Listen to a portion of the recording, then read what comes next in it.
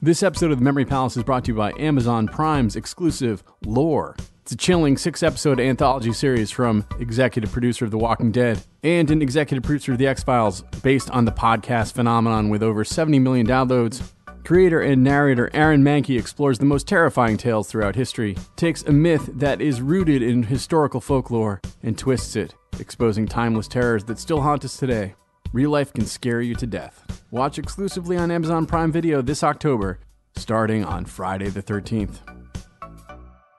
This episode of Memory Palace is brought to you by our friends at Article, makers of fine furniture with fantastic industrial and mid century and Scandinavian designs. Also, the makers of the lamp that is lighting this script as I read it. They have everything you need at Article for your home, including brand new, a whole array of fine leather couches. These are really beautiful, extraordinarily well made, just like everything they've got. And for $49, they will ship anything, including a large, beautiful leather couch, to your front door, regardless of size. And you can get $50 off your first order of $100 or more at article.com slash memorypalace. That's article.com slash memorypalace. This is the Memory Palace. I'm Nate DiMeo. Let's take a few minutes to remember the story of Joice Heth, though there's so little we know of it. At least the parts that weren't made up. We'll start in Lower Manhattan in 1835, where there's a salesman working the front counter of a general store. He's 25 and bored, wishing he were doing something different, wishing he were living more, the usual. And then walks a man. Now, we don't know where this actually all went down, but to keep our story streamlined and dramatic, we'll just say it all happens right there in the store. So, in walks a man named Coley Bartram, and he steps up to the counter and tells our bored young man that he's got a proposition for him a business deal that will change the young man's life. And though neither man, of course, knows it at that moment right there in the store, it will wind up changing the world.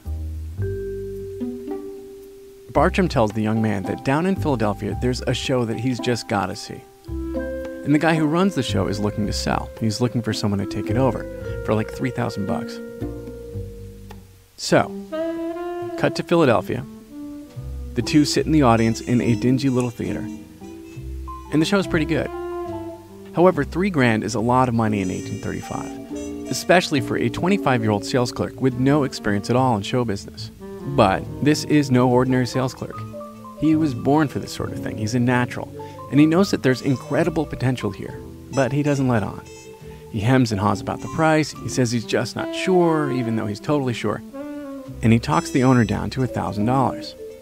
Both men walk away feeling like he just got away with murder. Though from the twinkle we can see in the young man's eye, we know who's right about that. The young man is Phineas Taylor Barnum of Bethel, Connecticut. And his career as P.T. Barnum, world famous showman, starts here with this $1,000. The show he bought that day was started by a man named R.W. Lindsay. Lindsay told the story about coming across an elderly slave who was living in an outhouse in a farm in Kentucky's Jefferson County. And he purchased the woman and then started inventing a different story. The woman's name was Joice Heth. She was around 80 years old, though nobody could really know for sure, probably not even her. And certainly no one else cared about how old the slave was, unless, as Lindsay and later Barnum would claim, that slave happened to be 161 years old. This is the story that was concocted for Joice Heth.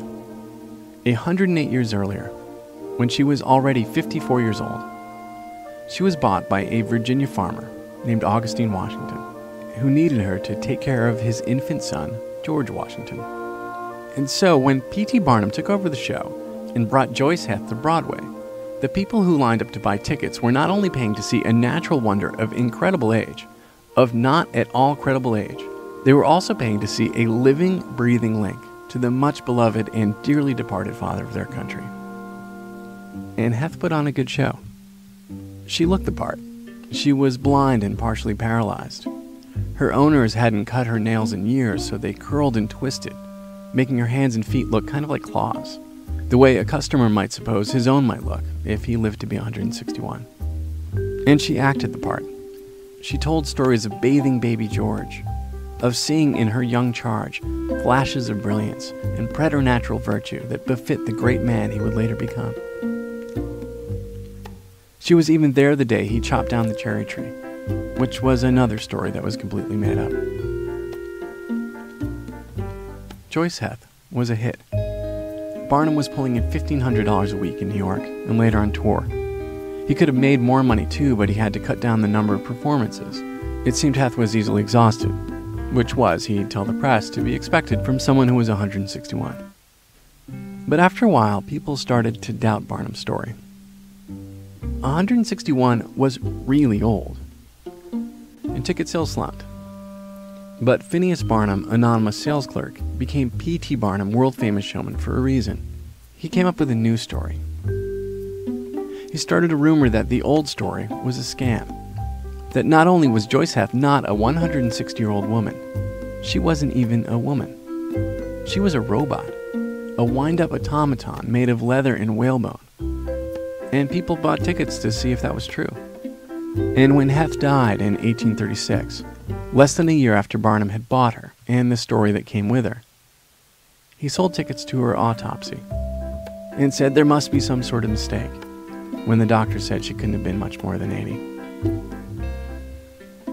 And thus ends the story of Joice Heth. Barnum's, of course, continues. He goes on to fame and fortune, he changes the world. But that's it for her story. I wish there was more that I could tell you, but there isn't really. There are details I left out, of course, about which cities she visited on tour, about the hymns she sang during her performances, about the stories that she told of young George Washington. But not the things that I'd like to tell you, not the things that I'd like to know, because nobody wrote those things down.